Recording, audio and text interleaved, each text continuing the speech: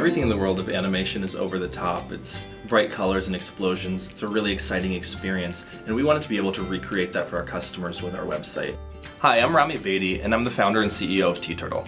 We really hit a brick wall a year ago when we did a full site redesign and actually saw our conversion rates drop. And honestly, that caused me to panic at the time and we weren't really sure what to do. We just knew that we had to take a more structured approach to the way we were making changes on the site. Qubit has really allowed us to hone in on the ideas that we want to test implement them on the site, and then analyze the data, make sure that we're actually seeing the results that we're looking for. Since the beginning, TeeTurtle has always been a very social company. Facebook accounts for over 60% of our traffic, and we wanted to figure out a way that we could really cater to each of those customers individually with all of their varied interests.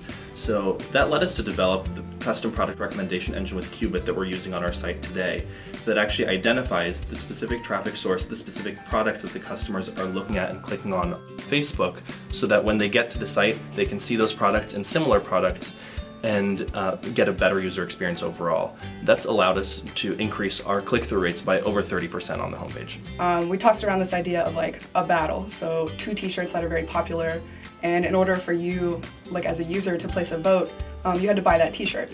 And so it was real-time updating, you know, like the shirt has 50 buys, the shirt has 51, and it just kind of like a, a bit of gamification and made things look pretty interesting on the front page. Things really, really came through and it ended up being one of our like the coolest site takeover probably in recent history, I'd say. My favorite tests are the ones that help me sleep at night, which are the ones that reduce the number of customer service complaints that we get and improve the user experience overall. One of those tests that we implemented was uh, for our female customers to encourage them to look at our sizing guide before making a purchase and we didn't see any decrease in our conversion rate, but we did see a 20% drop in returns from the customers who saw that test, and we implemented it to 100% of our customers from that point.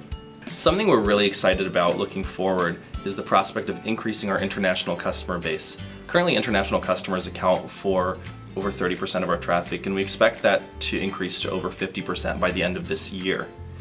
Qubit is helping us put together a full strategy that looks at our messaging, the language, the currency that we're delivering to each of these customers to provide a more personalized experience that'll ultimately lead to better conversion rates in the future.